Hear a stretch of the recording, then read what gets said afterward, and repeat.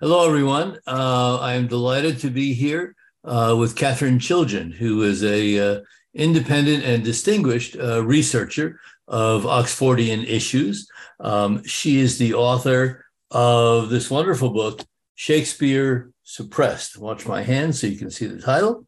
Um, as well as Shakespeare Suppressed, the uncensored truth about Shakespeare and his works. And then she is also uh, the author in the current issue of The Oxfordian, watch the fingers, uh, called The Grand Deception of the First Folio. And uh, that article uh, will constitute the bulk of our talk today. Um, and you can uh, find it on the homepage of the Shakespeare Oxford uh, Fellowship newsletter. Um, Katherine uh, has uh, been a trustee of the Shakespeare Oxford Society, I think. Is that correct? Yes.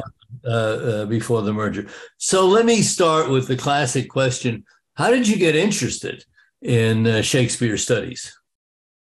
Well, it all started in 10th grade English with Miss Haley.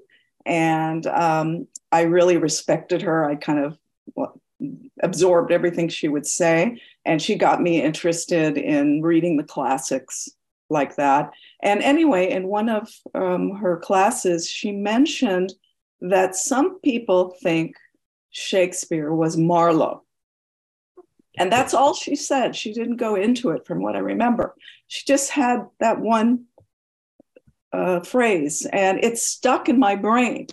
And then uh, several years later, after I graduated uh, college, um, I saw in the TV guide uh, a debate between uh, Charlton Ogburn and um, a, a, Shakespeare professor, I believe out of Princeton, and about the authorship question. So I thought, ah, you know, that's what Miss Haley said. So I, I, watched it. And of course, this is William F. Buckley's uh, firing line. And I knew nothing about it. I was a history major at UCLA. So I think I had an idea about evidence and stuff like that. And so um, all I did was watch one man, Charlton Ogburn, just make point after point and interesting uh, facts uh, in the Earl of Oxford's favor.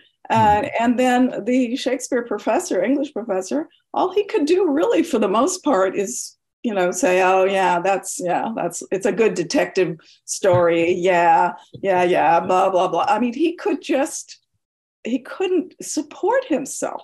And of course i thought that was strange. And uh, this is when ogburn's book had recently come out. Um, it was late in 84 early 85 well of course i was electrified and i um, I found Ogburn's book and I read it, and then I read his parents' book, and I just kept going. And I wanted to tell everybody about it. To me, I just thought it was the most important thing in the world to get it right yeah, that the Earl yeah. of Oxford was the true Shakespeare. So that's how I got into it. Um, so, what was the first thing that struck you as deceptive, to uh, pull a word from your um, uh, journal title, um, about either the issue or the the first folio? What what as a specific thing, what seemed to be off? Um, well, you know, after reading Ogburn's book, I, I became an Oxfordian right off the bat. But um, it was w- later when I saw um, a, a, prominent English professor on C SPAN uh, sort of put down anyone who believes in the yeah. authorship question. I thought, okay, I want to really um, understand what gives him so much um, confidence that his man wrote, wrote, the works because there's really there's nothing. So I, I really want to dive into Stratford man. Before that, I was really focused on Oxford and his life. Um, but um, when I got into it and I saw that it was the folio primary that there was their primary evidence, right? So that's when I really took a deep dive in the folio and all the evidence, the Stratford man's evidence and everything. And of course, you know, when you just look at the opening pages of the folio, you just see this strange figure, uh, barely human, and looking. That's, actually, that's, I'm sorry. Go ahead. No, no. It, it's just um, you know it. There were other. I, I found other uh, engravings by the engraver Droeshout of more human-looking faces than that. And then, of course, uh, Ben Jonson on the side in his verse said, "Don't look at this," you know. So right when you open the pages, there's something off, you know. Yeah. And in my opinion, what what was going on is they wanted to fill in, give give flesh to the pen name. Um, people before the folio came out, people some of the contemporary writers believed the folio that that uh, William Shakespeare was a pen right? So right. they wanted to quash that idea entirely for them and also for the general public. Uh, that's that's what I think. There was so, a, a a point where I was looking at graphical jokes. That is to say, things that made no sense. It was uh, not unlike the Escher upside down staircases, but it was things that were impossible uh, um, uh, to realize in, in real life. And I think almost from the beginning, having seen that um, that uh, uh, portrait, I thought that was a joke. Um, I thought that was a pictorial joke. You got this guy, he's got a slash down here, which means he should have been dead if that had been a knife cut, um, or it was a mask sitting yeah. on it, and then everything else that simply uh, made no sense. So, somewhat behind you, but independently, um, that looks like a weird um, uh, picture. I want to jump back to uh, your really important book, um, uh, Shakespeare Suppressed. Um, tell me about the process of researching it and writing it. It looks like it took a long time. Um, there's so much in here. Yes. Well, I had at that point been in the authorship for at least 20, 25 years already. Oh. Um, but um, as I said, I took a deep dive into the Stratford man. And that, you know, that right off the bat, what I discovered is that there is lifetime evidence and posthumous evidence. I didn't, I didn't have that concept in my mind at how prevalent Oh, they rely, how much they rely on the posthumous evidence. That's what really got me. Um, and so my chapter on the Stratford man's evidence is very slim. um, but but then it kind of went further than that. Just that it's like, well, what were contemporaries saying? And a lot as the years were going, I would like write little notes and I kept this on the computer and I would actually refer back to those. So all of it was kind of leaning toward, in a way, this book. Mm-hmm. And but it still took me about seven years. Wow. To, to do this. Okay. Yeah. Okay. Um, it's, I mean, for those who have not had the pleasure of reading it, it's worth your while. And so let me give a paid commercial, unpaid commercial announcement. Uh, both the book and uh, uh, the Oxfordian are yours. This makes sense. I always get this screwed up. Um, uh, you can get them on Amazon. And if you order today, they'll be there in about uh, two weeks, uh, two days on Amazon. Um, so in your book, Shakespeare Suppressed, is there a smoking gun outside of the fact of Willie being a cipher, but is there one thing that is particularly important to you um, that that makes the case to someone who is joining this discussion for the first time?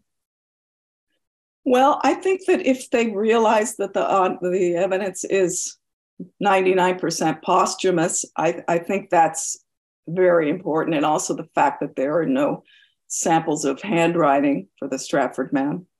Um, and it, it, it, you know, once you get rid of the Stratford man, it's all open as to who is mm. the great author. And then it's so easy to fall into Oxford with all his life parallels. And yeah, of course, I didn't go into Oxford in the book. It was just to focus on the Stratford man and how weak the case is. And that also, I, I kind of came to the conclusion that he, um, I mean, he was involved in the theater, and I will never, you know, deny him that. But it's all about financing in my mm-hmm. what I what I could find. I mean, the first reference to him at, involved in the theater was receiving a payment with two actors. Um, so he, you know, he was receiving a payment, right, for a play performance. Um, and the first notice of him in London was uh, as a moneylender. He's tr- later he was trying to rec- re- recoup that loss on the loan.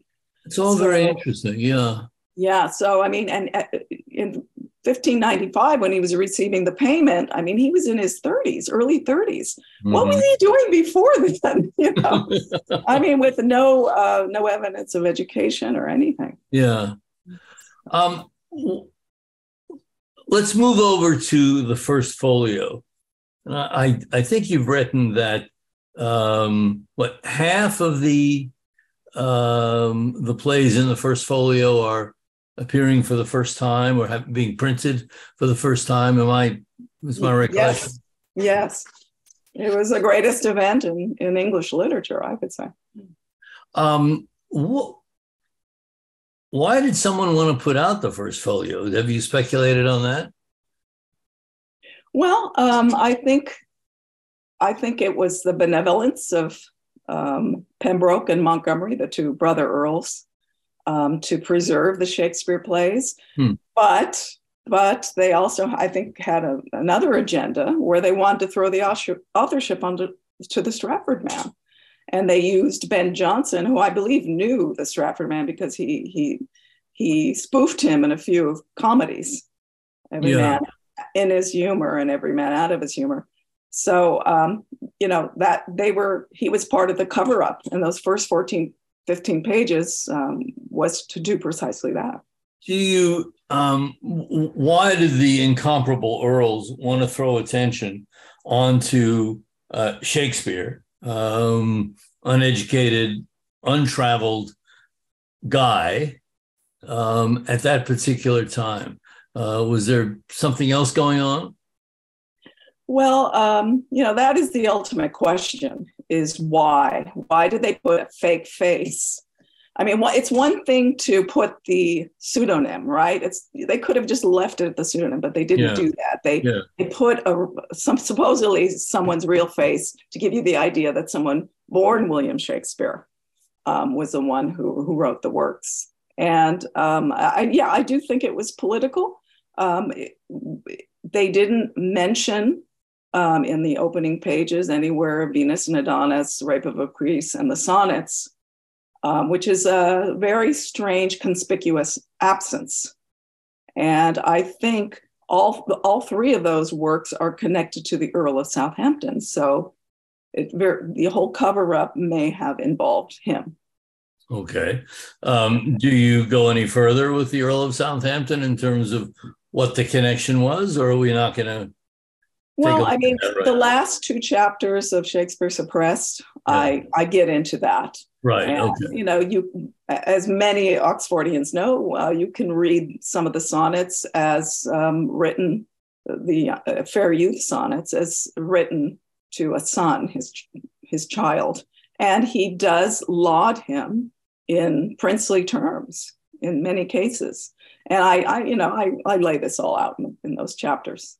So um, it could have involved the succession. That's what it looks like from my point of view. Mm-hmm. Um, okay. And also, James was getting older. You know, he, he died in 1625. The folio came out um, in late 23. And so that would be another, you know, that would be an issue. Hmm. Who, who would succeed? And who would succeed? I, I don't think that James was all that popular um, uh, in his later years. So um, I think that if they if it got out that the Earl of Oxford uh, fathered the Earl of Southampton by Queen Elizabeth, then you're talking about a potential successor if the general public knew about it. So this this mm-hmm. could have mm-hmm. been a reason. Uh, you know, I can't prove it. It's just right, of course. Yeah. Of course, we can't go back and ask. Um, what kind of research are you doing now, it, to the degree that you can reveal it? Um, well, I'm I'm working on a poem that I think was Oxford's, written very young, maybe oh, wow. before he was ten years old.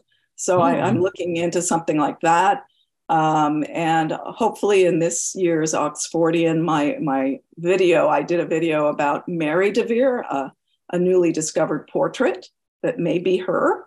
And so that paper I'm hoping is going to be published this year. Wait, did you And- just say a video associated with a paper? Yeah, I, I for one of the SOF uh, online conferences, I presented a paper Huh. um, saying that this particular portrait, um, it's now at a, mu- a museum, um, may have been Mary Vere, Oxford's sister. Oh, cool.